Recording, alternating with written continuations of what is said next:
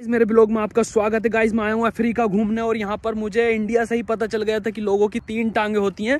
तो कुछ गरीब हैं उन लोगों की मैं मदद कर रहा हूँ उनकी टांगों पे तेल रगड़ रहा हूँ मालिश कर रहा हूँ। बीच की टांग थोड़ी कमज़ोर होती है यहाँ गोल गोल है पता नहीं आकार क्यों बदला हुआ है। भैया भैया यहाँ लोगों के जूते दो क्यों हैं? टांग तीन होने के बाद भी। अबे वो टांग ना है। लोड़ा है। है।